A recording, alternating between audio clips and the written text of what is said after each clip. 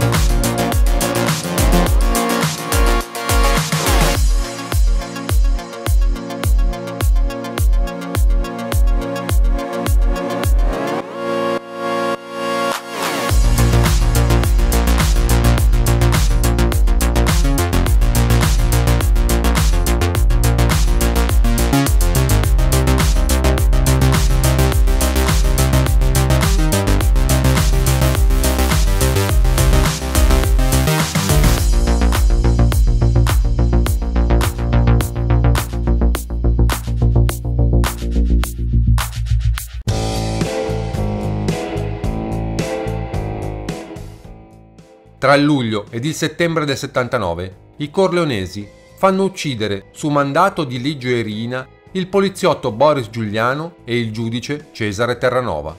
Gli omicidi vengono deliberati dalla commissione senza la partecipazione di Bontate ed Inzerillo ed intanto il Bontate continua ad incontrarsi di nascosto con il posato Badalamenti.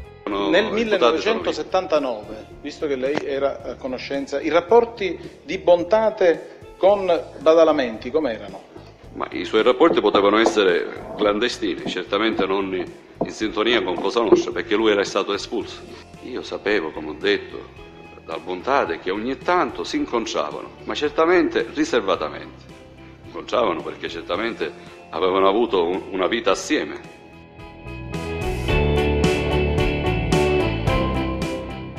Alcuni mesi dopo, viene deciso concordemente da tutta la commissione di Cosa Nostra l'omicidio di Piersanti Mattarella. Anche in questo caso Bontate subisce una decisione cui non si oppone, sapendo che ormai non ha più mezzi per bloccare i corleonesi. L'unica strada per fermarli è uccidere Rina. Dopo l'omicidio Mattarella vi è un secondo incontro di Stefano Bontate con Giulio Andreotti, che si svolge a Palermo in una villetta intestata ad un inzerillo zio di Salvatore, cui Marino Mannoia assiste personalmente. Continua Mannoia. Dopo circa un'ora sentimmo un clacson di un'auto e andai ad aprire il cancello.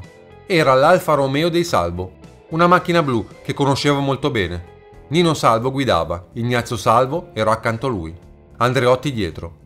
La macchina entrò, Andreotti scese dalla macchina e si scrutò attorno. Era vestito in blu, non indossava né cappotto né soprabito. Gli indicarono la strada e lui entrò in casa. La riunione durò circa un'ora. Da fuori sentivamo le voci di Stefano Bontate. Poi Andreotti e Salvo uscirono, salirono sulla macchina e se ne andarono. Bontate mi disse che Andreotti era venuto per sapere il perché dell'omicidio Mattarella. E lui gli aveva risposto: Ma non lo avete capito ancora, che qui comandiamo noi. E se non cambierete atteggiamento, vi leveremo tutti i voti, e non solo quelli della Sicilia, ma anche quelli della Calabria e dell'Italia meridionale. Secondo Bontate, Andreotti se n'era andato con la coda fra le gambe.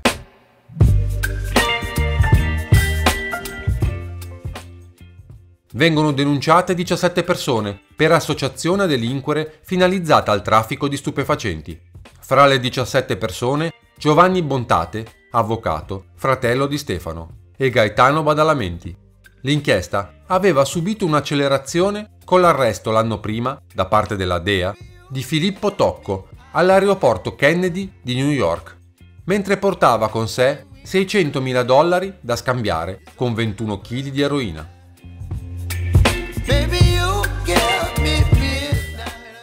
Buscetta Ammesso al regime di semilibertà, durante l'espiazione di un residuo di pena per il traffico di stupefacenti, si allontana e raggiunge Palermo. Un comportamento strano, visto che ormai mancano pochi mesi alla fine pena. Comportamento certamente dovuto alla necessità della sua presenza a Palermo per cercare di appianare le situazioni e meglio controllare gli avvenimenti in corso.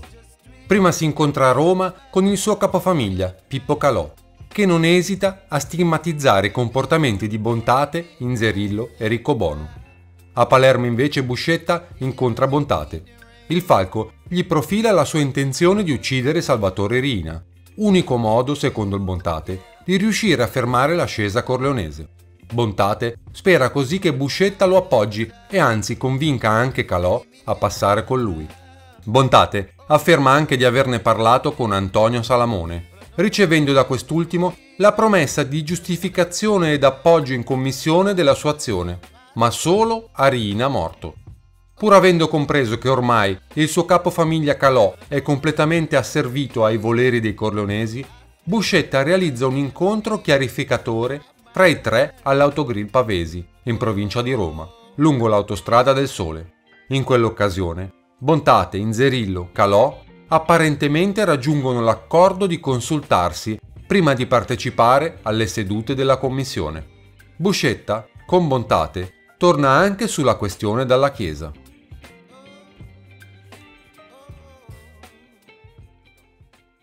Su questa idea di Cosa Nostra riguardante un attentato a Dalla Chiesa nel 1979.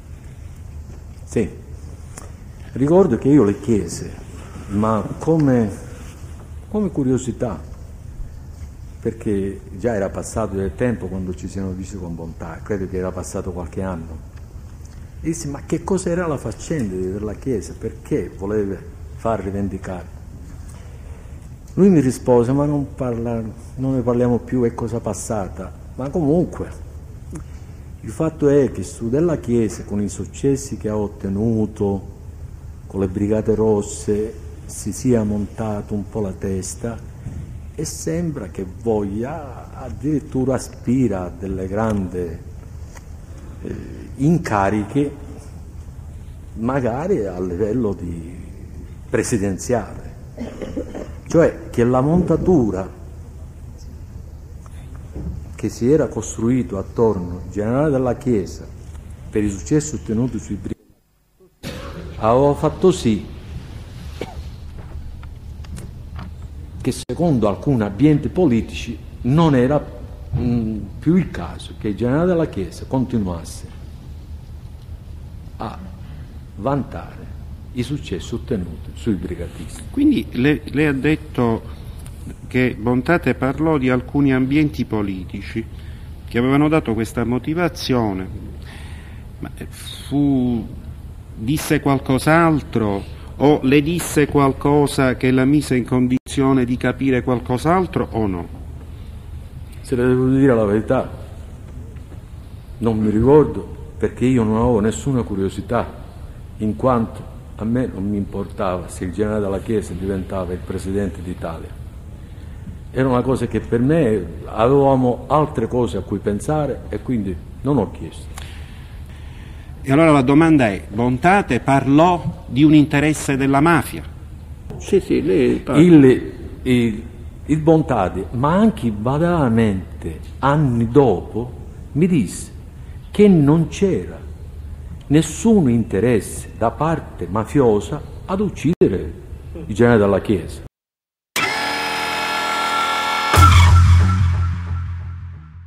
Dopo l'omicidio del capitano Basile, ad opera dei corleonesi, le indagini vengono indirizzate dal procuratore della Repubblica di Palermo, Gaetano Costa, verso il clan Inzerillo, con 55 denunce. Per la seconda volta, dopo il caso di Cristina, la famiglia Inzerillo subiva le conseguenze di omicidi voluti e portati a termine dai corleonesi. Per dimostrare di non essere in un angolo e di avere la forza anch'egli di prendere autonome determinazioni al di fuori della commissione, Inzerillo ordina l'omicidio di Gaetano Costa. Ma l'effetto ottenuto è opposto, poiché solleva reazioni negative in ambito mafioso. tanto che Calò, parlando con Buscetta, afferma che Inzerillo si è comportato da bamboccio.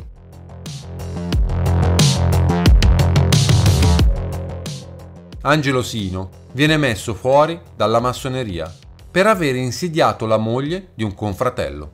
Perché lei lasciò la massoneria? Mi viene molto difficile dirlo perché è una cosa che non gradisco molto. Comunque, eh, sono stato accusato di aver insidiato una signora moglie di un fratello massone. Le regole della massoneria sono affini a quelle della mafia, quando uno eh, insidia una donna di un altro oh, adepto viene messo, viene messo subito o fuori famiglia o espulso dalla massoneria. Io non sono stato espulso, ma sono stato costretto a mettermi in sonno. E praticamente, mm, peraltro io non avevo assolutamente insidiato la signora, stavolta fu ingiustamente. E praticamente eh, poi a seguito di questa cosa anche il Bontade Stefano mi chiamò e mi rimproverò aspramente perché l'incarico di coaptare questo signore nella massoneria che peraltro era un uh, capitano medico, colonnello medico della polizia praticamente mi era stato dato dallo stesso Bontade. Ha detto cerca di metterlo vicino perché così lo possiamo usare. In effetti non lo sai mai questo signore perché devo dire che il colonnello era una gentile persona, una persona eccezionale, mi dispiace quello che è accaduto ancora oggi. Per questo sono stato costretto a uscire dalla massoneria. Quando? Quando? Quando? Fine eh, diciamo esattamente c'è una data precisa perché me lo ricordo perché fu un fatto per me scioccante fu intorno ai primi di settembre dell'80 io ritornavo avevo disputato la 24 ore del Mugello arrivando undicesimo assoluto con una, con una Opel Ascona 2000 quando ritornai io telefonai al marito di questa signora chiamandolo affettuosamente Totò come io lo chiamavo, lui mi disse che non dovevo più parlare con lui perché eh, sapevo io il perché e di parlare con chi sapevo io.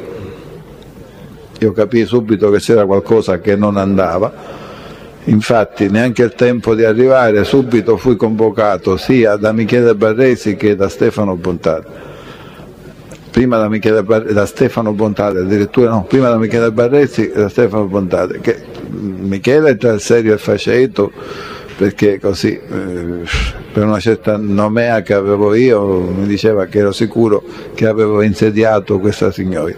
Io non, non era così, non era così, ero molto arrabbiato perché questa signora ha fatto questo escamotaggio per fare ingelosire il marito, solo per questo. E, mh, successivamente fui chiamato da Stefano Bontate che con altra aria e anche con l'appoggio di Mimo Teresi mi disse che era meglio che per un certo periodo di tempo non ci vedevamo più. Chiaramente capii che questo era preparativo anche a una mia eliminazione fisica, per cui armi e bagagli mi, me ne andai a Catania dove mi misi sotto la protezione di Nitto Santa Paola, ancora gliene sono obbligato, e feci anche un altro passo. Misi al corrente di tutto Giovanni Brusca, la questione del golpe, la questione della prima effettivamente Giovanni Brusca mi prese con una certa beneficio. Pensava che quello che le dicevo io insomma, era un po' esagerato poi quando vide che ci scoppiò il fatto che vide che c'era sul giornale scoppiò il fatto di Sindona tutte queste situazioni naturalmente eh, disse che, che ne aveva parlato subito col padre.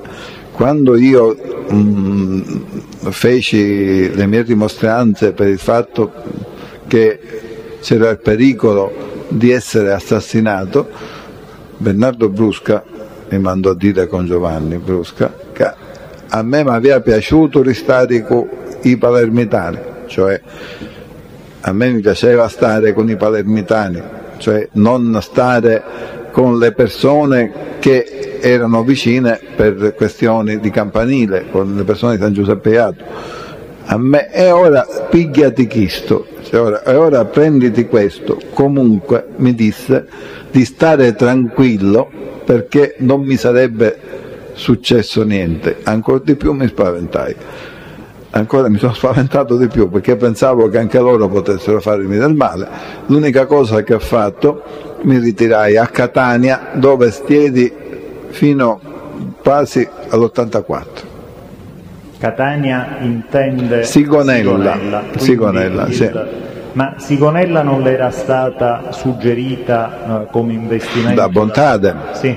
Però chiaramente tutto il fatto che era accaduto annullò ogni situazione, ogni cosa, perché praticamente dopo questo fatto io sono stato, non ho parlato più con Montade, l'ho visto solamente a Mazzara del Vallo, mm, no, a Campobello di Mazzara, dove lui aveva una proprietà entrai in una trattoria e lo vidi insolitamente solo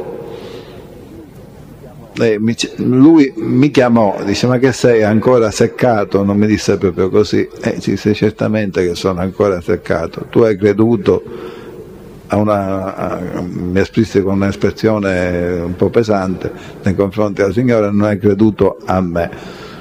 Mi disse di sedermi con lui, mi cominciò a dire Dice, io sono stato rovinato, mi cominciò a parlare male di Mimmo Teresi, di Giacomino, perché lui diceva che questo fatto che, di, che Sindona era venuto in Sicilia, tutta questa situazione, gli aveva creato una serie di guai.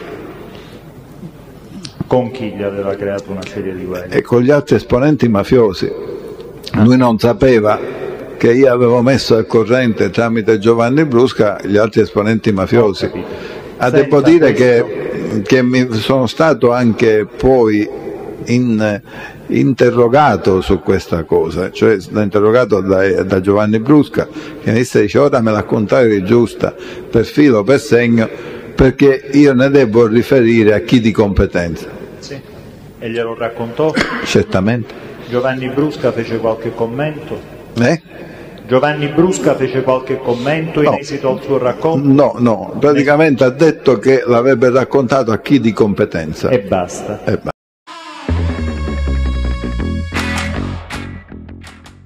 A Villa Grazia prende fuoco un vecchio casolare, ufficialmente adibito a deposito di oli combustibili. In realtà è una raffineria, la terza scoperta nel giro di tre settimane, dopo quelle di Sant'Onofrio e Carini ma questa volta la scoperta è casuale. Un cortocircuito, una scintilla dell'impianto elettrico ha portato all'incendio del casolare, all'interno del quale polizia e vigili del fuoco, intervenuti, hanno rinvenuto alambicchi, fornelli, ampolle. E non è sfuggita la polvere bianca sul pavimento, che ha portato al rinvenimento di più di un chilo di morfina base. A pochi metri dal casolare, la polizia apprende di sia l'abitazione di Giovanni Bontate. Nel corso del 1980 vengono scoperte le raffinerie di eroina di via Villa Grazia e di Contrada Piraineto di Punta Raisi, gestita da Gerlando Alberti. Dopo la scoperta delle raffinerie, le quotazioni dell'eroina raffinata in Sicilia scendono, perché diventa troppo pericoloso investire nella produzione sul posto.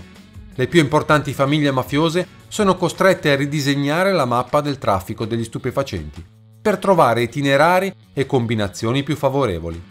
È anche l'occasione per la resa dei conti e l'instaurazione di nuovi rapporti di forza all'interno della mafia.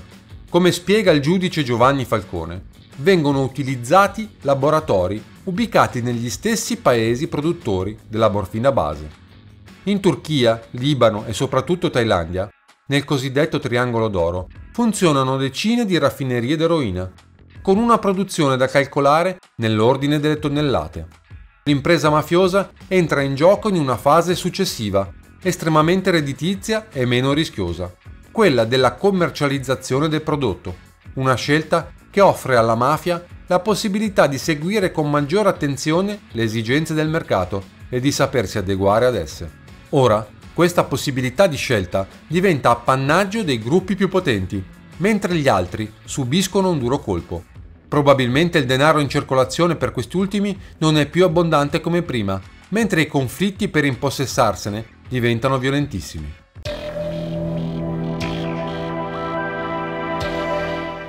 Scompare, vittima della lupara bianca, Giuseppe Panno, vecchio capofamiglia di Casteldaccia, uno dei pochi sostenitori ormai rimasti al Bontate.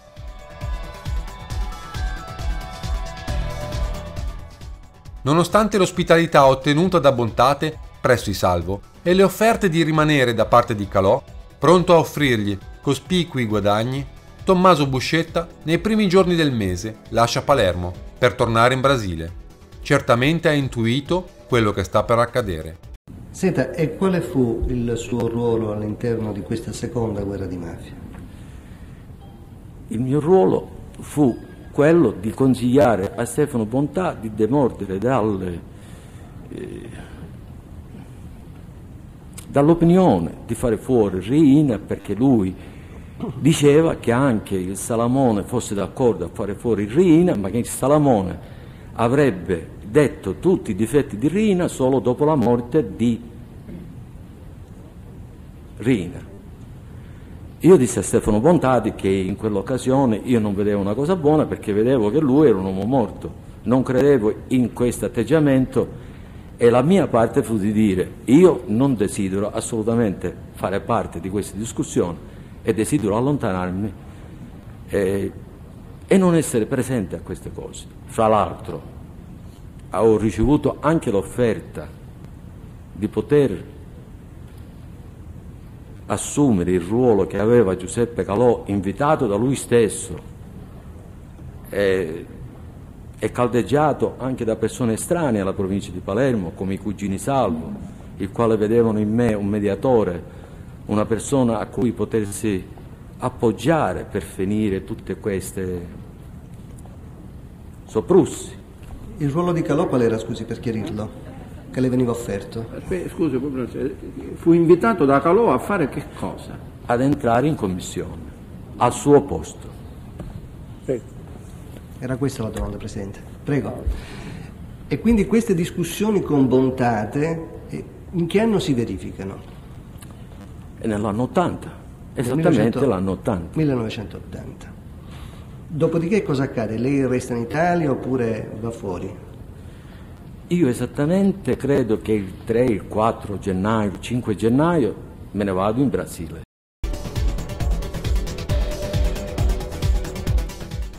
È in questo periodo che Bontate invita Rina presso la propria abitazione per un pranzo, con l'intento di eliminarlo. Ma Rina, avvisato da alcuni infiltrati, manda all'appuntamento Pippo Gambino e Raffaele Ganci. Appena il cancello si chiude, Bontate raggiunge la macchina convinto di trovarsi di fronte a Rina. Vedendo Ganci rimane molto deluso. E Ganci riferisce a Rina che tutto era pronto per l'agguato. In giardino vi erano almeno 15 persone armate. La guerra di mafia inizia nel 1981 ad aprile con l'uccisione di Stefano Bontate. Inizia perché arriva notizia che Stefano Bondale, Taneo Badalamenti, Luci Zerillo e tanti altri capimafia, volevano far fuori Totò Rina, non, lo volevano uccidere. E quindi diciamo a Totorina ci arrivò questa notizia. Stefano Bontate era un grande uomo d'onore e voleva fare una cosa, a regola di Cosa Nostra, di ammazzare Totorrina, fare una riunione davanti a tutto il Consiglio della Sicilia faceva questa riunione, Stefano Bontate si alzava e gli sparava a Totorrina davanti a tutto il consiglio. Totorrina, maligno, già essendo informato da, da, dalla spia Pullarà, dal verme che c'era da noi, non va all'appuntamento quando fanno questo consiglio.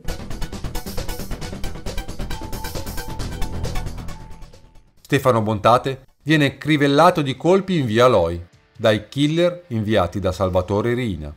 Rina ha avuto la meglio, è riuscito negli anni a isolare Bontate, a far crescere all'interno della sua stessa famiglia l'invidia verso quell'uomo così ricco e benestante. Cioè Stefano Bontate lo ha sottovalutato troppo. Totorrina essendo avvelenato e insidioso, ha ammazzato Stefano Bontate. Tutto qui. Stefano Bontate era uno stratega, quindi era importante colpire a lui, per primo, perché se si colpiva a qualche altro, allora noi a Stefano Bontate non l'avremmo preso più, perché Stefano Bontate avrebbe fatto veramente la guerra Ecco perché dico è stato un tiro bersaglio, perché una volta che è morto Stefano Bontate il suo esercito si è sciolto come la neve al sole. Il patrimonio del Bontate, come le sue conoscenze politiche, finiscono nelle mani del Riina. Una cassa piena di denaro e preziosi, sotterrata con l'aiuto dei suoi uomini fidati, viene fatta sparire dagli stessi. Secondo il pentito Francesco Marino Mannoia, la moglie di Stefano Bontate, dopo l'uccisione di questi, aveva tentato invano di recuperare parte del suo patrimonio. Il cognato Giacomo Vitale cercò di recuperare parte dei soldi del Bontate travasati dalle banche sindoniane al Banco Ambrosiano di Calvi, ma non fece in tempo, scomparendo per Lupara Bianca Corleonese. E degli investimenti immobiliari al nord? E le decine di conti esteri che fine avranno fatto? Magari un giorno ne parleremo. Dopo la morte di Bontate, dopo la morte di Inserillo, ci venne comunicato che la Commissione aveva deliberato che tutte, tutti coloro che erano coinvolti in quel, in quel programma di, di, rivolta da parte di Bontà e Inserillo, comunque che volevano eh, porre fine a questo potere dei colleonesi, di essere ricercati e di essere eliminati in qualsiasi momento si, i, si trovassero queste persone comunque fo, fosse nella disponibilità degli altri uomini